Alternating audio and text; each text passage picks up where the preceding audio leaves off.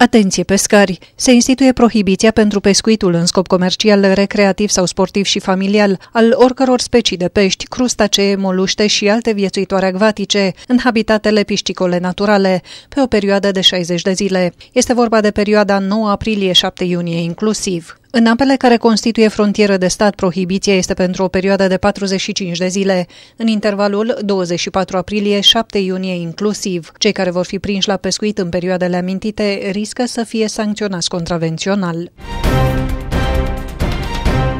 Compania Națională de Autostrăzi și Drumuri Naționale a anunțat că joi 8 aprilie, în intervalul orar 02, ca urmare a unor lucrări de optimizare ale sistemului de comunicații central, emiterea rovinietelor și a peajelor prin intermediul sistemului informatic de emitere, gestiune, monitorizare și control a rovinietei poate fi îngreunată sau întreruptă.